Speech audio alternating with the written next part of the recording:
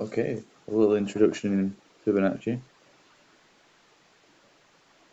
Starts off one, one, one added together. You've got the child. These two equal this. These two equal this. These two equal this. These two equal this.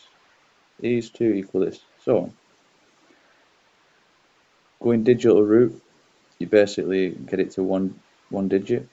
13 is is plus is 4, 21 is 3, 34 is 7, 55 is 10, which is 1, 89, yep, 8, 9, 5.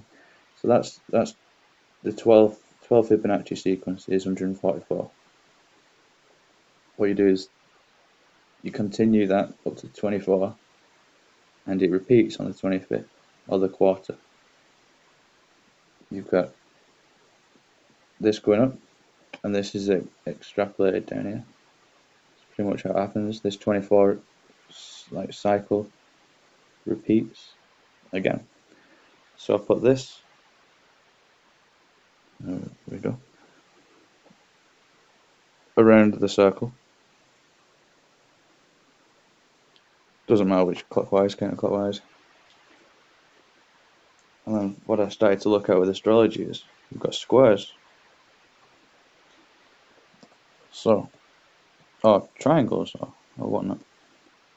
So there's points, like at the, we'll go for the, the cardinals. So we've got 9, 9, 1, 8, 9. Any position, you turn it, if that's on a pivot, wherever you put it, wherever you put it, where yeah, pretty much. This this pattern is with the square. This pattern is with the triangle. 120 degrees, obviously equilateral. Um, 9, 6, 3, 3, 6, 9, 3, 7, 4, Anyway, my battery's getting low, so I'm going to have to speed this up. At each combination, add in the fours.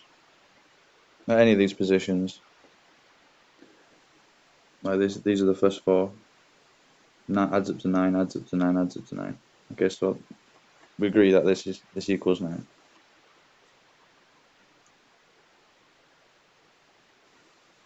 Okay, these are the triangles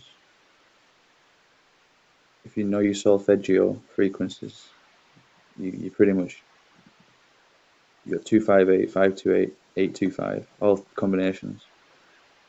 And they're opposites. They're in triangles.